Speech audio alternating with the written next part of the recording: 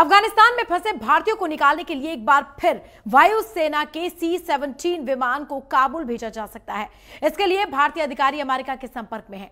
फ़िलहाल काबुल एयरपोर्ट का नियंत्रण अमेरिका के पास है। सूत्रों के मुताबिक ऐसे संकेत मिल रहे हैं कि अगले बहत्तर घंटे में काबुल एयरपोर्ट पर यात्री विमानों की भी आवाजाही शुरू हो सकती है। संभव है कि नागरिक उड़ानों की बहाली से पहले आज भारत काबुल एयरपोर्ट पर मौजूद अपने नागरिकों और वीज़ा धारकों को सुरक्षित निकालने के लिए विशेष विमान भेजेंगे। विदेश मंत्री एस जयशंकर ने कहा कि भारत सरकार अफ़गानिस्तान के हालात पर पूरी तरह से नज़र बनाए हुए है और वहाँ से भारतीयों को निकालना सरकार की पहली प्राथमिकता है। तालिबान को लेकर अफ़गानिस्तान में खौफ का माहौल बना हुआ है। तालिबान पर लगाम कसने के लिए अमेरिका के बाद अंतर्राष्ट्रीय मुद्रा कोष ने अफ़गानिस्तान सरकार के चार दशमलव छह अरब डॉलर के रिज़र्व को ब्लॉक करने का ऐलान किया है। इससे पहले अमेरिका ने अफ़गानिस्तान का नौ दशमलव पाँच अरब डॉलर का रिज़र्व फ्रीज कर दिया था। भारत सरकार की ओर से भारतीय नागरिकों को सुरक्षित निकालने की कवायद भी तेज हो गई है। भारतीयों को निकालने के लिए एक बार फिर से वायुसेना के सी सेवनटीन विमान को काबुल भेजा जा सकता है। इसके लिए भारतीय अधिकारी अमेरिका के लगातार संपर्क में हैं। फ़िलहाल काबुल एयरपोर्ट का नियंत्रण अमेरिका के पास है। सूत्रों की माने तो ऐसे संकेत मिल रहे हैं कि अगले बहत्तर घंटे में काबुल एयरपोर्ट पर यात्री विमानों की आवाजाही भी शुरू हो सकती है। संभव है कि नागरिक उड़ानों की बहाली से पहले आज भारत काबुल एयरपोर्ट पर मौजूद अपने नागरिकों और वीज़ा धारकों को सुरक्षित निकालने के लिए विशेष विमान विमान भेजे।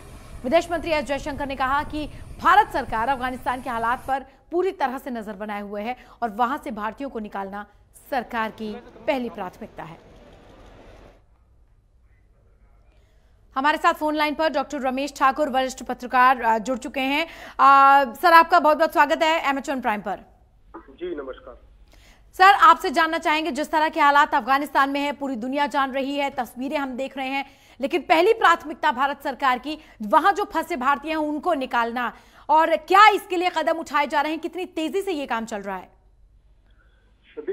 जी क्या होता है कि जब किसी भी कंट्री में आ, या किसी जगह पे कोई त्रासदी इस तरह की कोई मानवीय जो घटनाएँ घटती हैं तो उसमें सबसे पहला धर्म होता है वहाँ का दूतावास जो है वो अपने देश के अपने लोगों की सुरक्षा रक्षा करे।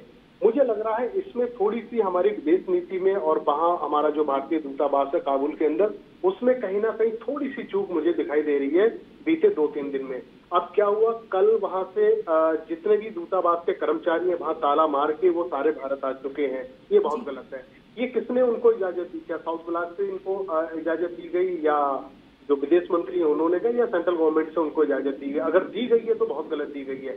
दूतावास तब तक बंद नहीं होना चाहिए तब तक वहाँ तालाबंदी नहीं होना चाहिए। जब तक वहाँ फंसा अंतिम भारतीय नागरिक सकुशल भारत में आ जाए लेकिन ऐसा नहीं हो पाया।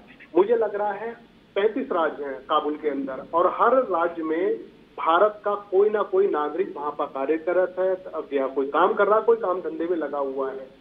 तब अब जब तालाबंदी वहाँ पे हो जाएगा दूतावास में कोई नहीं रह, रहेगा तो ये बताइए कि वो लोग किससे संपर्क करेंगे? मदद किससे लेंगे? जी। कैसे मदद लेंगे? ऐसे ये बड़ा दुख वाली बात है क्योंकि तालिबानियों ने कल प्रेस कॉन्फ्रेंस करके ये तो कह, कह दिया कि हम सरकार बढ़िया से चलाएँगे और शांति प्रिय तरीके से काम करेंगे लेकिन उसके उलट कुछ घंटों के बाद में जो तस्वीर आ रही है महिलाओं के साथ में बच्चों के साथ में जिस तरीके से प्रताड़ना उन्होंने शुरू कर दी है तो मतलब वो वो जो दृश्य है जो आँखों के सामने से जो तस्वीरें गुजर रही है वो देखी नहीं जा रही है।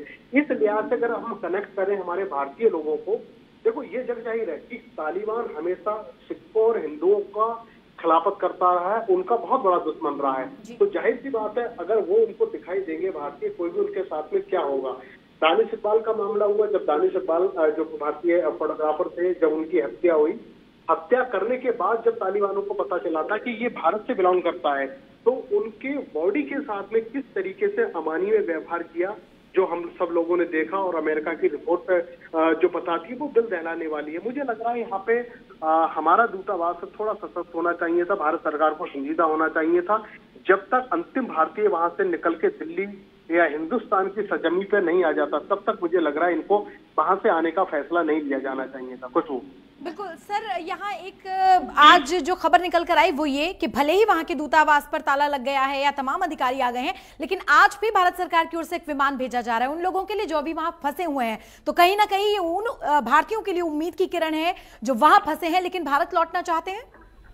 नहीं, देखो एयरलिफ्ट तो पहले दिन से ही किया जा रहा है। जिस दिन से घटना हुई था, वनडे से यहाँ पे भारत सरकार संजीदा है उनको लाने के लिए।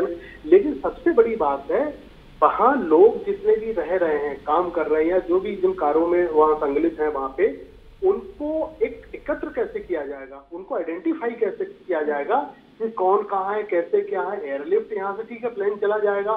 लेकिन लाएगा जिससे क्योंकि काबुल एयरपोर्ट पे जो तस्वीरें आपके स्क्रीन पे दिखाई दे रही है ये माहौल बना हुआ है।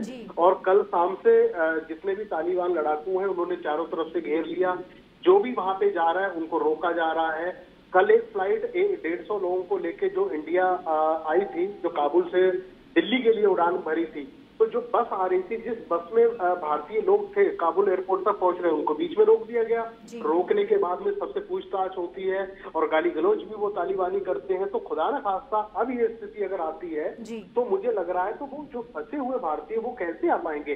कैसे काबुल एयरपोर्ट तक जा पाएँगे और कैसे वहाँ से उड़ान भर के यहाँ पे आ जाएँगे? तो मुझे लग रहा अब बहुत कठिनाइयों का समय स्टार्ट होने वाला है। इससे मुझे लग रहा सरकार को थोड़ा सा एक और एक सतर्कता दिखानी चाहिए लेकिन सतर्कता दिखाने वाली जब बात आ जाती है तो सरकार किससे संपर्क करे? क्योंकि काबुल में सरकार तो है नहीं आतंकियों की सरकार है उनसे तो ये भी संपर्क कर नहीं सकते। और दूसरा सबसे बड़ा जो सशक्त जो माध्यम था वो था एम्बेसी। हमारी एम्बेसी भी लोग नहीं है। तो मुझे लग रहा खुशबू बड़े एक आने वाला जो समय है, दो चार दिनों का बहुत दुखदायी होने वाला है। और भगवान ना करे कि हमारा कोई भी भारतीय वहाँ पे फंसा हो, उनके साथ में कोई भी ऐसी घटना घटे जो अप्रिय हो। और किसी भी तरीके से सरकार को इस समय बहुत सतर्कता के साथ में हर एक भारतीय को सकुशल वतन वापसी करे, हम यही उम्मीद लगा रहे हैं।